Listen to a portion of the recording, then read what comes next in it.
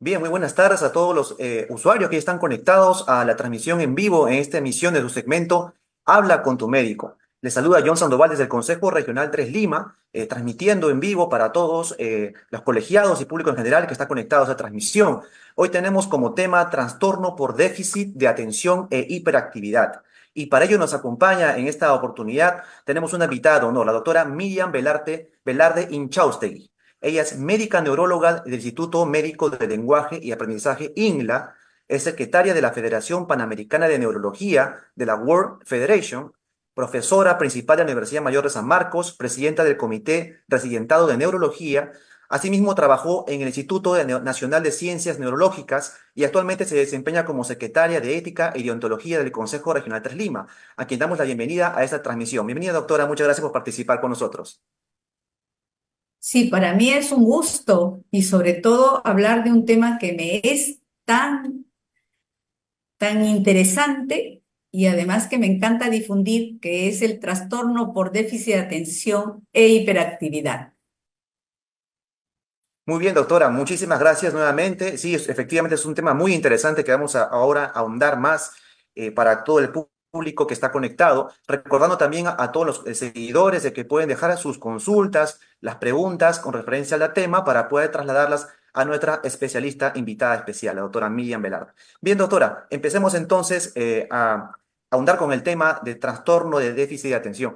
Eh, coméntenos, por favor, qué significa, qué, qué definición nos puede dar con respecto a este tema. Sí, el trastorno por déficit de atención e hiperactividad es un trastorno realmente muy, muy común.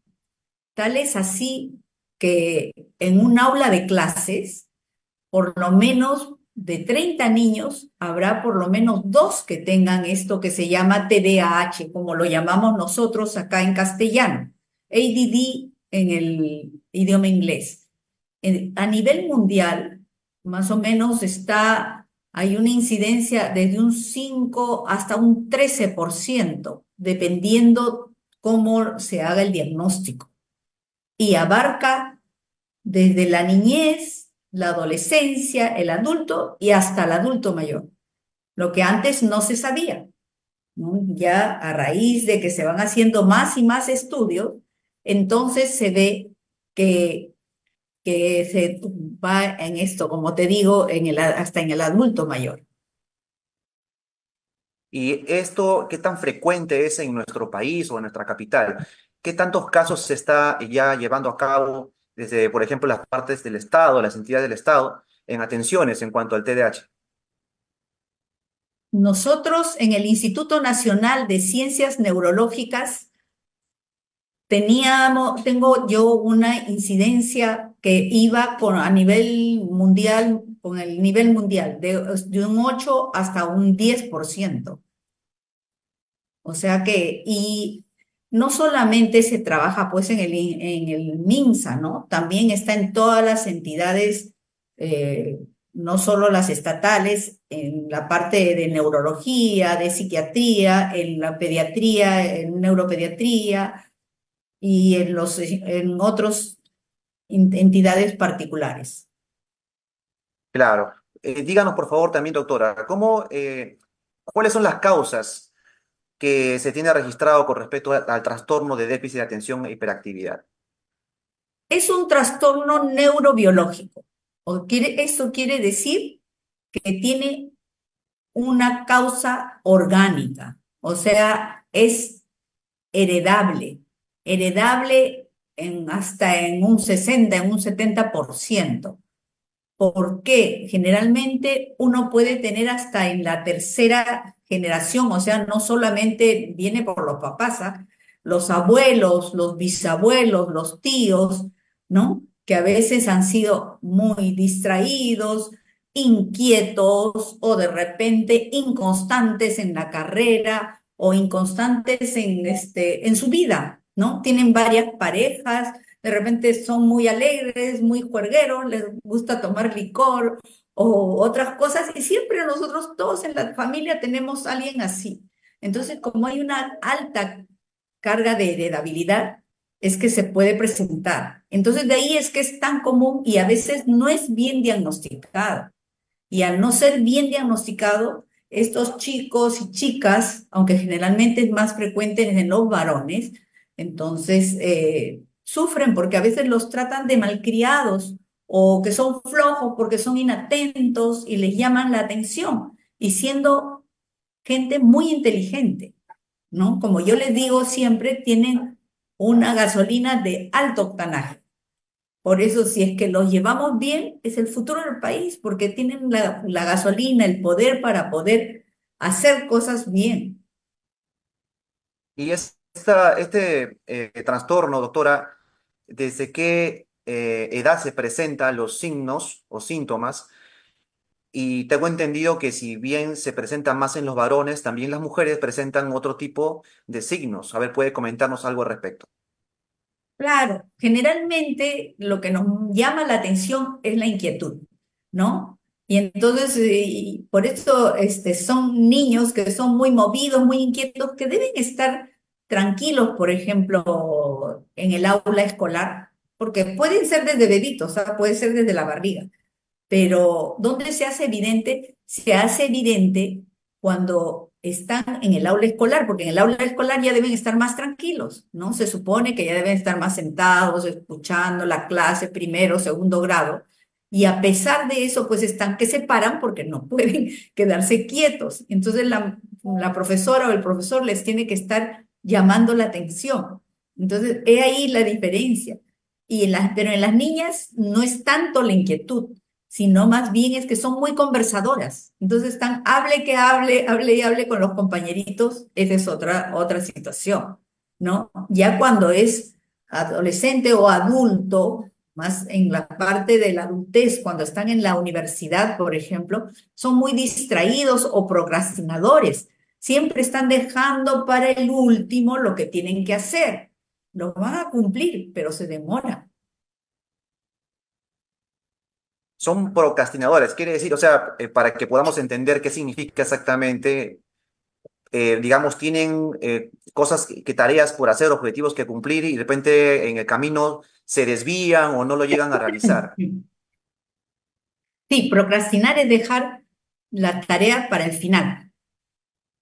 Ya cuando la tienes que presentar mañana, ahí recién la haces toda la noche. Ahí es.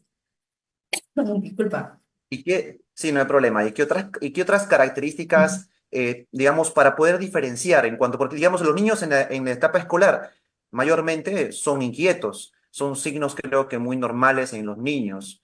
Entonces, eh, para poder nosotros o, una, o las personas eh, tener signos que ameriten de repente poder llevarlo a un especialista, que es un neurólogo, en estos casos, puedan evaluar al pequeño o a la niña en cuanto a ciertos signos o características que definen lo que es un trastorno de déficit de atención y hiperactividad. ¿Cómo podemos diferenciar? ¿Qué otras características eh, diferencian a los niños en su, en su actitud normal que tienen?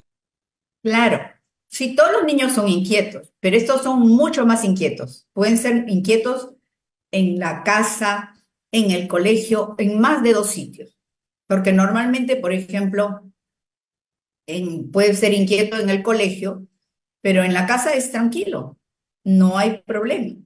Pero sin embargo, estos chicos son mucho más inquietos de lo están, por ejemplo, en la iglesia, que se supone que deben estar más tranquilos, y sin embargo están corriendo por los pasadizos. A eso se debe. Si la profesora le dice, no te levantes, Juanito, entonces, pero Juanito sin querer se levanta y le dice, algo me hizo que yo me moviera, profesora o que le jalara, le jalara la trenza a Anita, por ejemplo.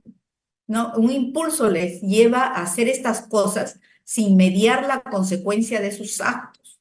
O en los, en los, en los adultos, que siempre cuento este, esta, este hecho, ¿no? A uno cuando está manejando, alguien se te cruza, uno reniega, pues dice, uy, este, ¿qué le pasó? Se me ha cruzado y puedo chocar, ¿no? Pero ¿qué hace un adulto TDAH? en vez de dejar tranquilo que, le, que ya pues reniega un rato, pero lo que hace comienza a seguir al otro carro, seguir, lo comienza a seguir. Y de ahí todavía le cruza también al otro carro y, le, y después de repente baja de ahí un tremendo hombre y hace el avión, ¿viste? Entonces no media la consecuencia de sus actos. O sea, no puede decir, mejor no me enfrento aquí porque puedo salir perdiendo. Ese es un punto. Y en los adultos mayores a veces se puede confundir hasta con demencia, porque como tienen los olvidos, también, pero puede ser por problemas de atención, ¿no? Eso es lo que pasa. Incluso tengo pacientes adultos, adultos de, de, 40, 50 años, que lo que hacen siempre, regresan a la casa porque se olvidaron la llave del carro, porque se olvidaron el celular. Están a cada momento que se olvidan, olvidan las cosas para poder hacerlas, ¿no? Entonces, y dejando siempre al último para poder hacer todo, la noche. Bien, es, eh, si bien hay pues este, ciertos eh, rasgos o características que eh, podrían ser en cuanto a, digamos, en la escuela, poder enfocarse o concentrarse correctamente, atender las clases, eh, en cuanto a personas más grandes, adultos mayores o adultos que tienen este tema de distracción o impulsividad quizás, si, si bien podemos verlo desde un punto en, en, cuanto a esto que he mencionado negativamente, también quizás hay algo que podamos rescatar en la parte positiva de personas que tienen eh, este tipo de característica en su conducta. Sí, disculpa que no te escuché bien porque tengo sí. ¿Cuál, eh, digamos, eh, para resumirlo, en, sí. en la parte, digamos, lo que hemos mencionado son, si bien rasgos que podrían catalogarse como algo negativo en, de repente a la hora de interrelacionarse socialmente, de atender las clases, ¿no? Es, hay también quizás una parte positiva eh, de este tipo de conductas en las personas que podamos rescatar. Claro, sí, sí, sí. Lo, lo que te digo es que como que tienen una más, más energía que el resto de la gente. Y al tener más energía, hay que encauzarla para que sea, para que sea útil. Porque el problema es que estas personas tienen una buena capacidad intelectual, normal o, o, superior.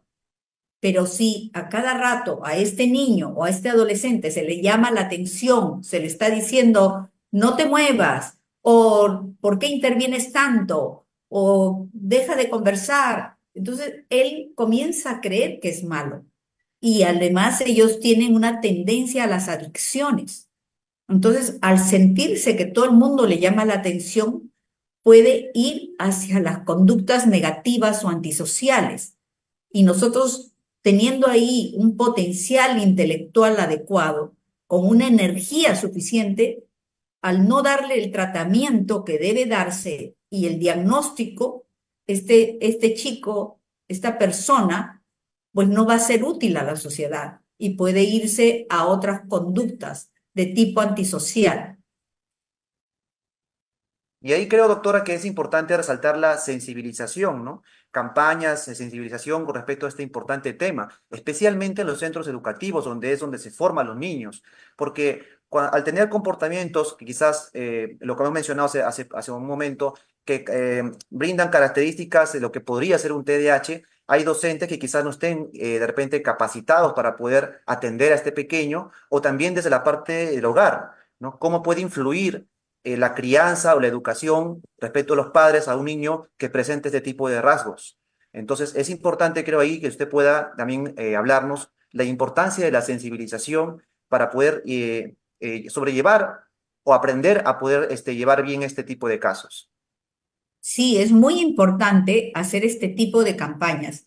Tú sabes que desde que yo era médico residente en el Instituto Nacional de Ciencias Neurológicas, comencé a ver este tipo de trastorno, porque es un trastorno, como te dije, neurológico por la dopamina y la noradrenalina que están alteradas en la parte de la captación cerebral. Y resulta que esto es un trastorno que lo podemos tratar. Eso es lo mejor de todo. Y sin embargo, mm, últimamente, después de la década del cerebro, ya se vio que sí es un trastorno neurológico y lo podemos ver en las mismas resonancias, porque hay una diferencia en el cerebro de estos niños o adolescentes o adultos. Y hay un tratamiento que es eficaz y está desde el siglo pasado desde los años 50, porque esa época no se sabía cómo al recibir la medicación estos chicos eh, mejoraban tanto. Y ya fue en la década del cerebro, en el año 2000, es que se comienza a saber de este, de este trastorno mucho más y que sí es un trastorno neurobiológico, como te digo. Y lo, lo importante es que nosotros al diagnosticarlo de la manera precoz vamos a tener una vida mucho más fácil y segura y útil para la sociedad y para nuestro país. Es así que en la, es así que en la actualidad nosotros podemos dar el tratamiento eficaz y seguro, además de la parte psicológica, ¿no? Entonces es una situación que te estaba comentando. E ¿Influye más la parte de la genética o, lo hereditario en lo que se puede adquirir quizás en un hogar de repente disfuncional y de repente pueden seguir quizás algunas actitudes ahí? ¿Cuál de las dos sería lo que más prevalece? ¿La parte genética, la parte de la conducta aprendida? Lo que pasa, hay que saber que si bien es que tiene una carga eh, hereditaria muy alta, ya te dije de un 60-80%, pero siempre está la epigenética, que es el medio ambiente, que nos puede cambiar todo el transcurso. Por eso es lo que decía, que hay que identificar este trastorno lo antes posible, porque al identificarlo lo antes posible podemos dar el tratamiento adecuado. ¿no? Junto con la parte psicológica, conductual y la escuela para padres en los niños pequeños. Por eso es que lo más importante es saberlo identificar y llevarlo a tiempo. Casi todos los trastornos del neurodesarrollo, cuando uno los identifica a edad más temprana, es mucho mejor para estos niños. Así es, doctora. Bien, tenemos un comentario también que me gustaría trasladarle de eh, Carolina Dávila Cárdenas. Menciona, buenas tardes, los niños con TDAH eh, tienen movimientos involuntarios en su cuerpo. ¿Es cierto esto, doctora? Se refiere a que se mueven más de lo normal, ¿no? Pueden ser más inquietos, más movidos. Claro que es cierto que hay un trastorno por los tics, ¿no? Que se llama el gilet de la Tourette. Es un trastorno también de los, del neurodesarrollo y en ese trastorno, el 50% comienza como un TDAH. Entonces, de ahí es que comienzan a veces con unos tics en los ojos, en el hombro, o hacer ruidos con la, con la garganta, ¿no? Otra consulta es, ¿qué pasa si un niño con TDAH no es controlado? El problema, el problema que a un niño que no es controlado. Y este chico, si es el, el eternamente castigado, entonces puede ir a otro tipo de conductas, como les decía, conductas negativas para él y para la sociedad, porque ellos son proclives a tener adicciones, ¿no? Ya sea de todo tipo, porque pueden ser adicciones a las pantallas, adicciones a las drogas, al alcohol, o, otro, o cualquier otro tipo. Entonces, por eso es que es necesario que nosotros los trabajemos a tiempo y demos el tratamiento necesario que es siempre interdisciplinario. Y usted ha mencionado algo muy importante, doctora, que sucede muy rutinariamente con respecto a los celulares. A ver, le quiero preguntar también a, eso respecto, ¿no? Eh, ante una conducta de un niño, de repente que está eh, quizás muy inquieto, distraído, y los padres lo que hacen es darles el smartphone, el celular. Entonces, esta, este aparato lo que eh, produce algo en él que incrementaría o, eh, digamos, aumentaría, digamos, los, los rasgos en él, en la conducta que está teniendo, ¿es beneficioso o no es beneficioso? A ver, coméntenos, por favor, porque eso sucede muy a diario. Lo que pasa es que ya sabemos por la Academia Americana de Pediatría que a los niños hasta los dos años no deberíamos darle pantallas. ¿no? Después, darle pantallas de manera racional, o sea, dependiendo de la edad, cuántas horas van a necesitar, porque también es cierto que estamos en una eh, época que nosotros necesitamos de las pantallas, del Internet para trabajar, tenemos la inteligencia artificial que bien usada no es mala, y ellos tienen toda esa capacidad de usarla. Pero lo que tenemos que, saber es que hay que darle en su justa medida. No podemos nosotros, ya sé que estuvimos en la pandemia y en la pandemia, pues este, todos teníamos que trabajar. ¿Y qué hacíamos? Teníamos que dejar a veces a los hijos con las pantallas, ¿no? Porque no había otra manera. Entonces, eso ha sido un detonante, podríamos decir, para que se incrementen todos estos casos. Pero ahora que ya estamos nuevamente así en, en la manera real, tendríamos que ir calculando y viendo, y siempre como padres nosotros tenemos que saber qué es lo que necesita nuestro niño, ¿no? ¿Qué, qué, eh, cuánta la medida que debemos estar viendo? Porque los padres somos los que debemos poner las reglas. No es solamente ser amigo de los niños, sino son los padres los que son la autoridad y deben de poner las reglas para que los niños aprendan a respetarlas. No, no estoy en contra total de las pantallas. Lo que tiene que ser el, el uso racional de las pantallas. Y entramos, este, doctora, a la parte del tratamiento que están preguntando justamente eh, si el TDAH tiene cura y qué tipo de terapias deben llevar los niños y adolescentes que tienen diagnosticado este tipo de trastorno.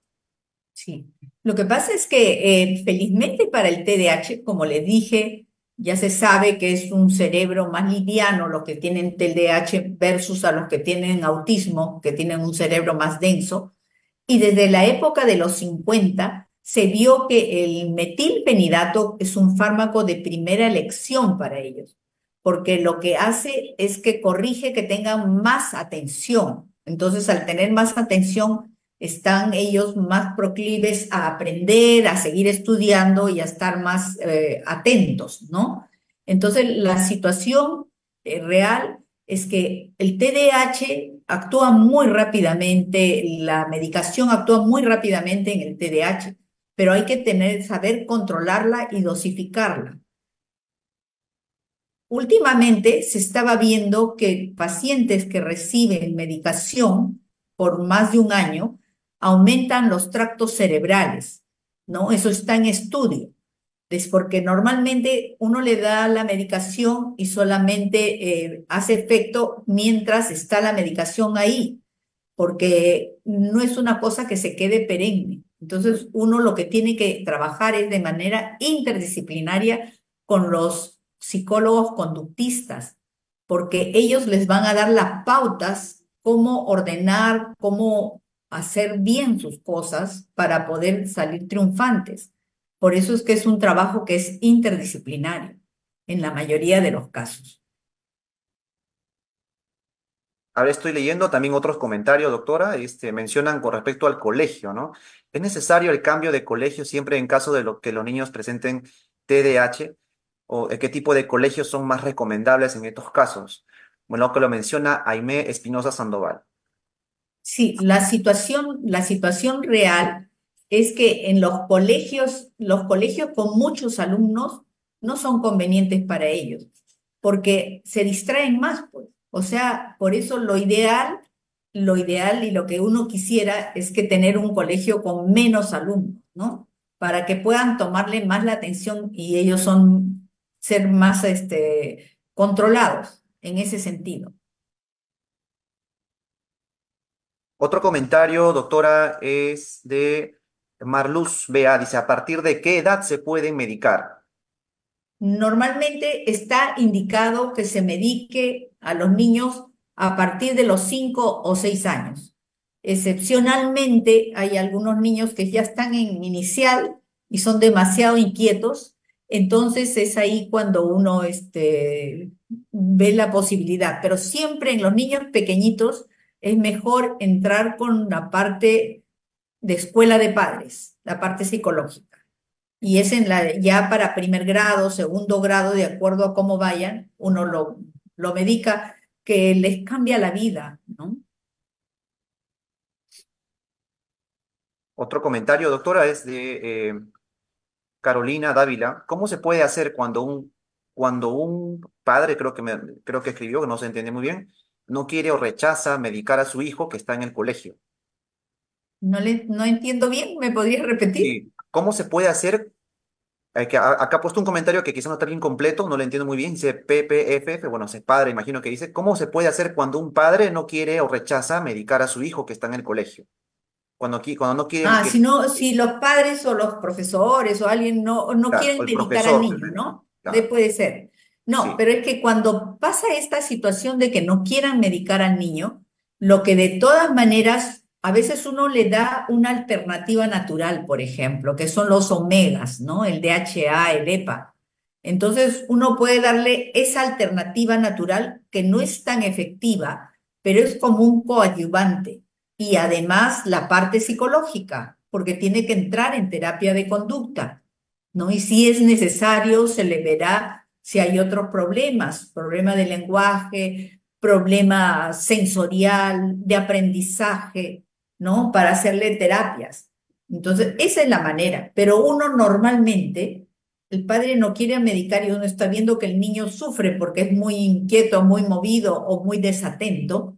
Entonces, ¿qué es lo que hace? Uno le da un tiempo para las terapias, por lo menos cuatro meses.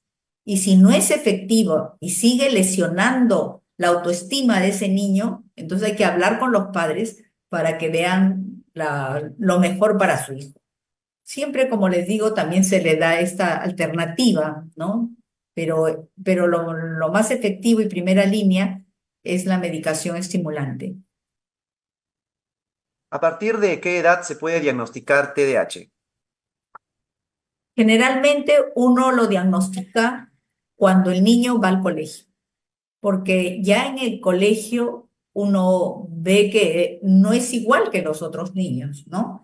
Cuando están en, en inicial, generalmente es más abierto, todos están moviéndose, es diferente. Salvo que, pero también en inicial a veces hay niños que son demasiado inquietos y movidos o son también impulsivos, agresivos y también puede verse.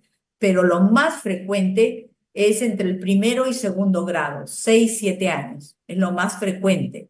Y a veces, claro que la profesora le va diciendo, el profesor va diciendo a los padres, pero los padres van dejando, van dejando pasar.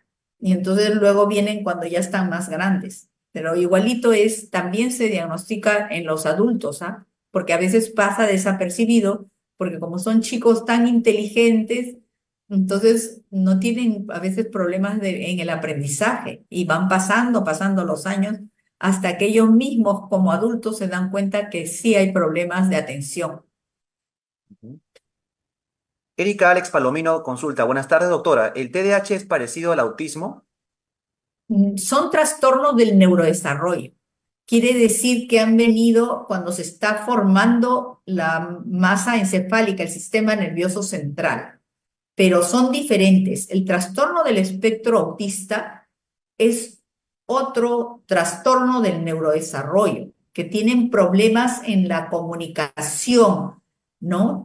Problemas con estereotipias, o sea, movimientos repetitivos y de, eh, de interacción social.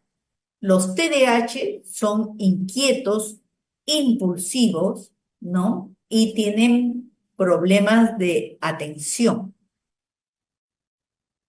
Claro que a veces eso también les da problemas de interacción social, porque, porque siempre quieren liderar las cosas y ser los primeros y a veces se frustran pues con facilidad. Claro, doctora, así es. Y acá hay otro comentario en Pero relación. una cosa, sí, Sí, John, disculpa, pero te quería decir, pero sí es cierto que se puede presentar TDAH y TEA al mismo tiempo. También se puede presentar y podemos hacer el diagnóstico. En la actualidad eso está reconocido desde la DSM-4, que es el Manual Estadístico de Enfermedades Mentales, que podemos hacer los diagnósticos al mismo tiempo, TDAH y TEA. También es factible. Oh, interesante, doctora. ¿Debe ser un caso excepcional o es algo muy frecuente? Últimamente está siendo cada vez más frecuente. Es una de mis ponencias que di en el, en el Congreso de, de Ecuador, ha sido, creo. Ujú. Las Eh, investigaciones que hacemos siempre. claro, doctora. Bien, Sandra Fuentes de Díaz dice, ¿qué pasa cuando la maestra da cuenta de un niño con características de TDAH, pero los padres no aceptan, no acuden al profesional? Ahí realmente lo importante sería que los padres valoren cuánto daño le están haciendo a los niños al no llevarlo a hacer el diagnóstico precoz. Porque ese niño, la autoestima se puede ver lesionada, porque lo va, todo el mundo le llama la atención, ¿no? O le dice, uy, ¿por qué eres muy vago? ¿Por qué no prestas atención? Siempre te estás olvidando tus colores, tu casaca, o al revés, eres tan inquieto, tan movido. ¿Qué es lo que...? Entonces, a ese niñito le van creando como si fuera un chiquito que, que no quiere obedecer, pues que es un malcriado, ¿no? Por eso le dicen, así le... Entonces, eso la profesora, claro, ella va a tener muchas dificultades, pero poco a poco tendría que ver hacerles entender a los padres en la medida de lo posible o enviarles pues para a, a un centro para hacer el diagnóstico y que les den una orientación. Por eso es tan importante la escuela de padres.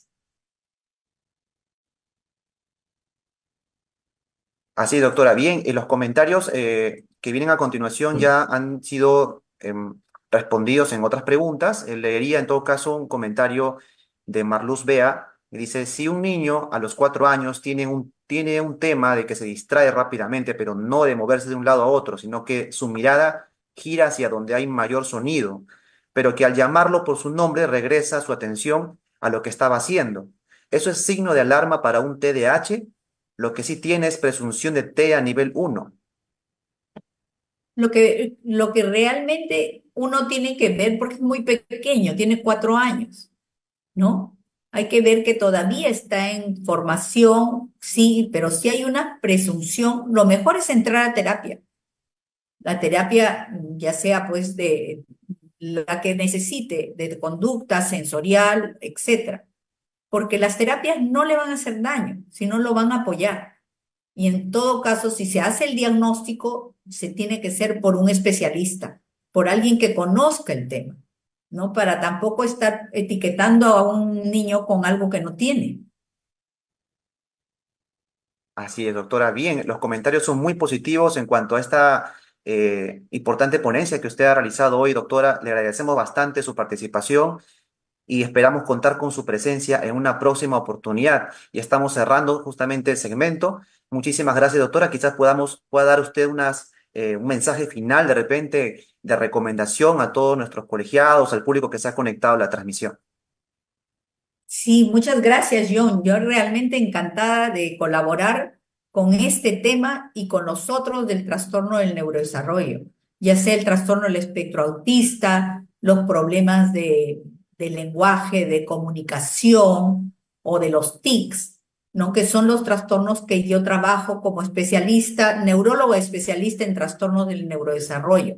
Y yo les quiero hacer conocer a los padres, a los profesores, que la ventaja es de hacer los diagnósticos temprano. Es lo más importante, hacer los diagnósticos temprano para dar el tratamiento adecuado y precoz para poder lograr, ya que estos chicos, los TDAH, estamos en el mes del TDAH.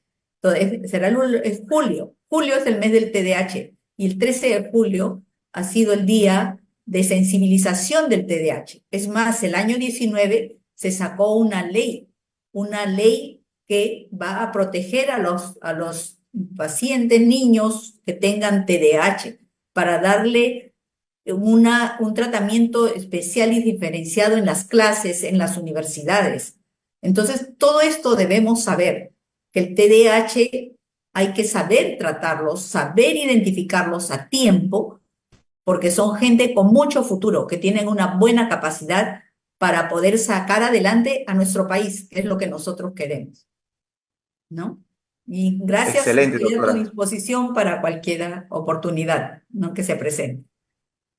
Así es, doctora. Muchísimas gracias. De verdad, importante el mensaje que ha brindado usted y toda su ponencia. Los comentarios son muy positivos agradecimiento para usted y justamente también nosotros le agradecemos su participación.